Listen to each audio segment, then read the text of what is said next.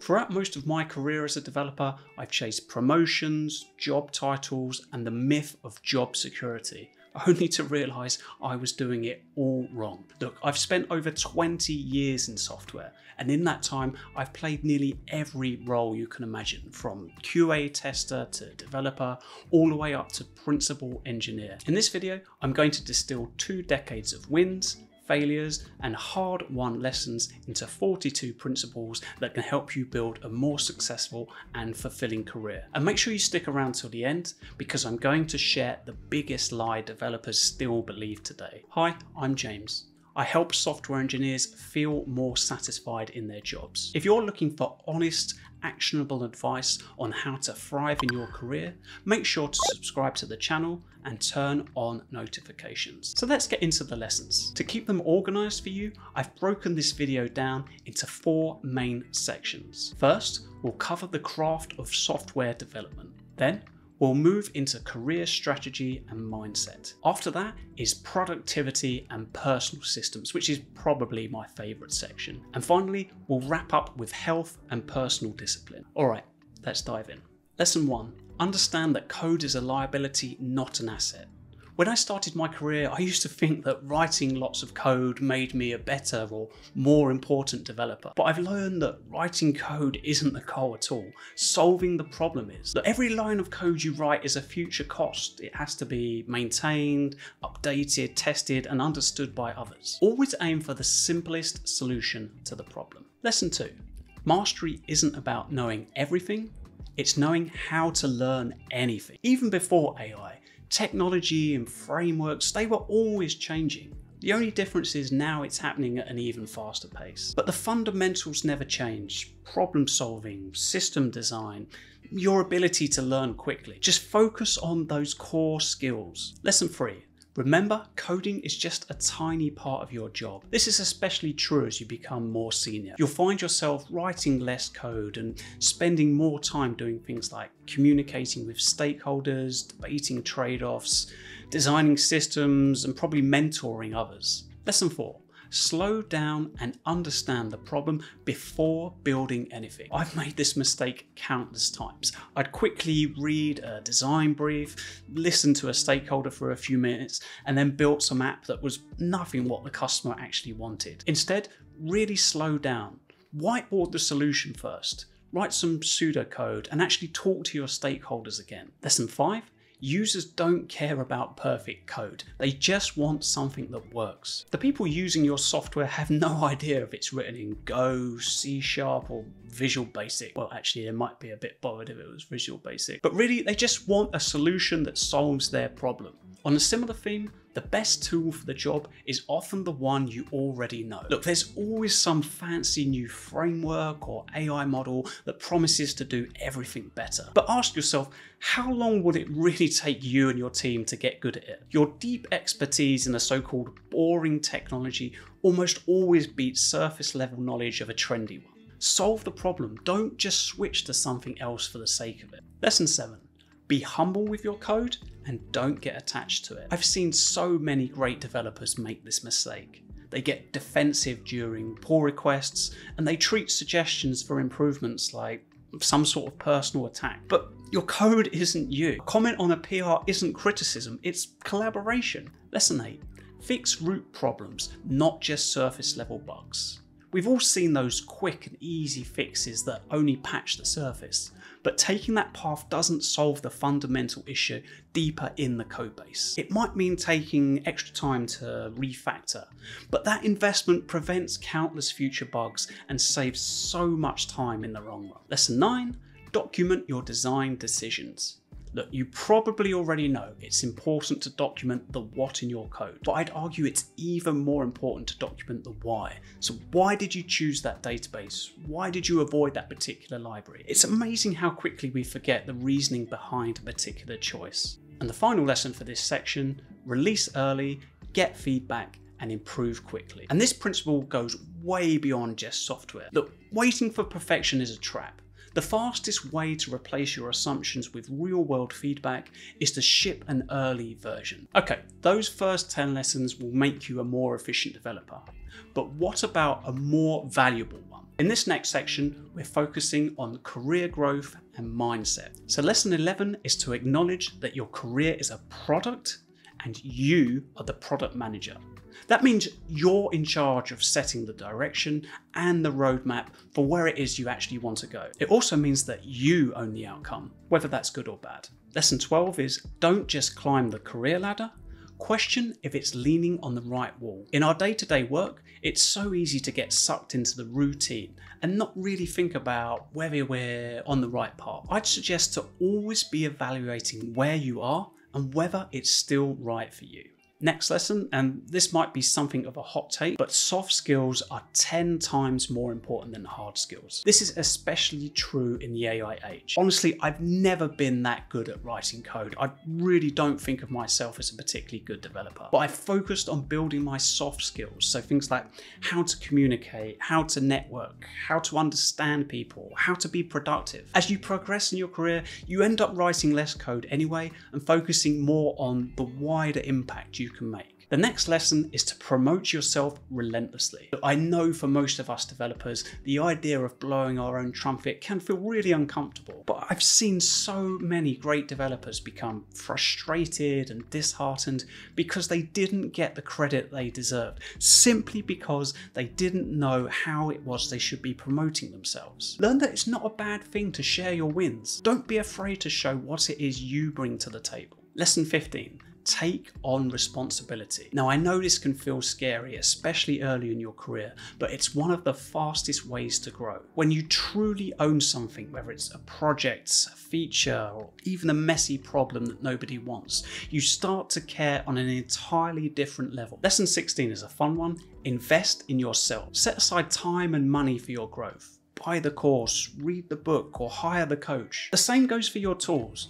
If you need a better laptop or a microphone or a camera, anything that will make you more effective, then that's going to be a smart investment. Lesson 17 Prioritize gaining domain knowledge. This is crucial if you're in a full time job or a long term contract. With AI making pure technical skills more of a commodity, your real value shifts. What makes you truly indispensable isn't just your code, it's your deep understanding of the business, its systems, and its customers. Lesson 18 Share your knowledge freely.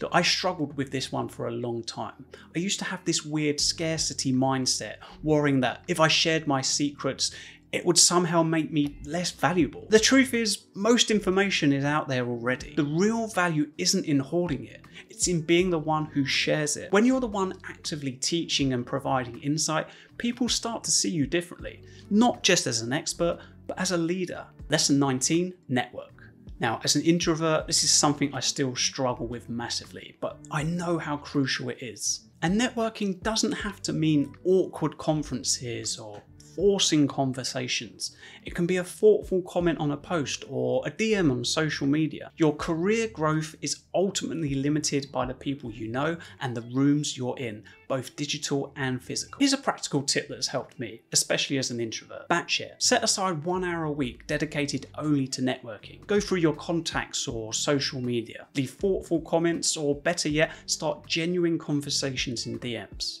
Lesson 20 always be looking for a new job. This isn't the 90s. The average tenure in a tech role is incredibly short. The best time to look for a job is when you already have one. This isn't about disloyalty, it's important to say. It's about empowerment. Knowing your options means you're never trapped in a role that no longer serves your growth or ambitions. Lesson 21 Learn to negotiate your salary. This is critical, especially when starting a new job. Your initial salary sets the baseline for every future raise you get at the company. And remember, this doesn't have to be confrontational. It's a standard business discussion. Lesson 22, and this is an important one, don't become good at something you hate. This is a surprisingly easy mistake to make. I've made it myself and I've seen many developers do the same thing. They get really good at a specific area of development because it pays well, it has high demand, or it's just what they were told to do. But they don't actually enjoy it at all. The problem manifests a few years down the line. They now have deep knowledge in an area they dislike and they feel trapped because that's what they're known for and that's what they have the experience in. The trick is to check in with yourself often. Honestly, ask if this is something you genuinely enjoy and can see yourself doing for a long time. Alright, let's move on to a section I'm really passionate about productivity and personal systems. We've just talked about big career strategies like networking and finding a new job, but none of that matters if you're too buried in daily work to actually execute on these. Lesson 23 Have a good productivity system. Honestly, this is the single most important thing I've ever done. It's made the biggest impact not just on my career, but on my entire life. A few years ago, I read the book Building a Second Brain by Tiago Forte, and it changed everything. The core idea is simple. Your brain is for having ideas, not holding them. Trying to store all your tasks, notes, and thoughts in your head is mentally exhausting. It kills your creativity and makes it impossible to focus. By building a trusted digital system to capture everything, you free up your mind to do what it does best solve problems. Now, this is a topic I'm incredibly passionate about, and I know that starting a system from scratch can be the hardest part. So, to help you get started today, I've created a free one page tool for you. It's a simple template that combines the most powerful habits we're about to cover in the next few lessons. You can claim it for free by simply clicking the link in the description below. Lesson 24 Start a Journal. Now, I have some strong opinions on this. Firstly, it has to be digital and it has to be low friction. I've spent years trying both, and in today's world, digital wins hands down. The biggest problem with paper isn't that it's slow, it's that there's no recall. I have stacks of old handwritten journals somewhere, and those insights are essentially lost forever. The second rule is to make it low friction. My best advice here is to always write less than you want to. I use a simple free prompt template for this. One win for the day, one challenge I faced, and one thing I'm grateful for. And that's it. Lesson 25, and this one is related to the last one, plan tomorrow tonight. This simple act also lets your brain truly rest at night, knowing the plan is already set. It's a five minute investment that pays huge dividends in focus the next morning. Lesson 26, block out focus zones for deep work. This is the crucial next step. I learned this idea from Cal Newport's amazing book, Deep Work. Block out two to three hour chunks in your calendar where you're completely unreachable. For a developer, this isn't a nice to have, it's the only way to make meaningful progress. Lesson 27 work on one thing at a time. For a software developer, context switching is kryptonite. Here's the simple system I use. At the start of the day, I define my three most important tasks. Then I circle the single most important one. That task becomes my only priority. I don't touch the others until that one task is finished, even if it takes the entire day. Lesson 28 do the hard tasks first. This concept comes from the famous book Eat That Frog, and it really works. The logic is so simple. Your willpower and focus are at their absolute peak in the morning. Use that prime energy on your single most important and difficult task. That one big win creates powerful momentum that then carries you through the rest of the day. Lesson 29 Be ruthless with your calendar. In my early career, I accepted every meeting invite I got. I was afraid I'd miss something important or I wouldn't seem like I was being a team player. But I learned a hard lesson. Meetings are destroyers of deep work. It's not just the hour in the meeting meeting. It's the half hour before when you can't get started on anything new, and then the half hour afterwards when you're trying to get your focus back. Three badly placed meetings can wipe out an entire day's productivity. Lesson 30 use the two minute rule to beat procrastination. Look, we all procrastinate and we all know that feeling of dread when facing a big task. This is the trick that actually works. The next time you're avoiding something, don't think about the whole project. Just ask yourself, what is a two minute version of this that I can do now? So for a coding task, that might be opening your IDE and reading the last line of code you wrote, or maybe just running the unit tests, or reading the first two paragraphs of the documentation, just something really simple. You give yourself full permission to stop after two minutes. But here's the thing you almost never do. Just starting is the hardest part. Once that initial friction is gone, then momentum takes over, and before you know it, you're deep into the important work you were avoiding. Lesson 31 use music to focus. The right music is actually scientifically proven to help you get into a flow state and concentrate for longer. That's also why I believe a pair of good noise cancelling headphones is one of the best productivity investments a developer can make. This is especially true in a noisy office. Not only do they help you concentrate, but they also act as a subtle do not disturb sign, signaling to everyone that you're in deep work mode and shouldn't be interrupted. Lesson 32 Turn your webcam on. In our remote first world, your webcam is your digital body language, and so many developers get this wrong. A blank screen just looks like disengagement. It's better to not be there at all than to be a silent blank square on the screen. The second part of this is your background. Look, it doesn't need to be a movie set. Just keep it tidy and non-distracting. Still with me? Great.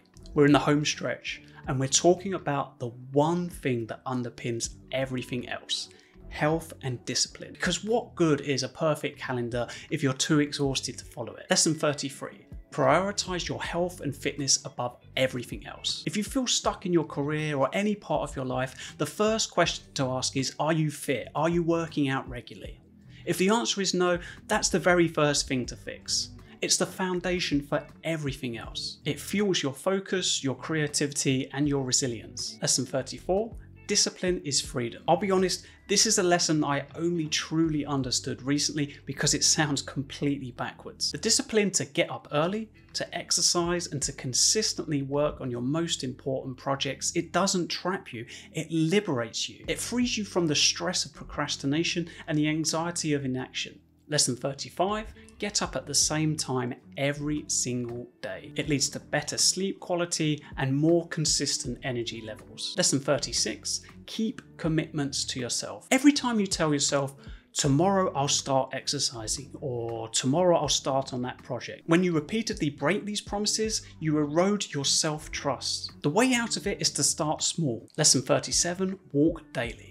This might be my personal favourite. Get into the habit of going outside and walking every single day, even if it's just for a few minutes. It lets you clear your head, process your thoughts, and get some light exercise. Lesson 38 Read more books. Make a point to reread books you found impactful. It's amazing how much you forget, but also how much new wisdom you'll absorb when you return to a book from a different stage in your life. Lesson 39 Listen to audiobooks. Audiobooks unlock all the time you thought you didn't have.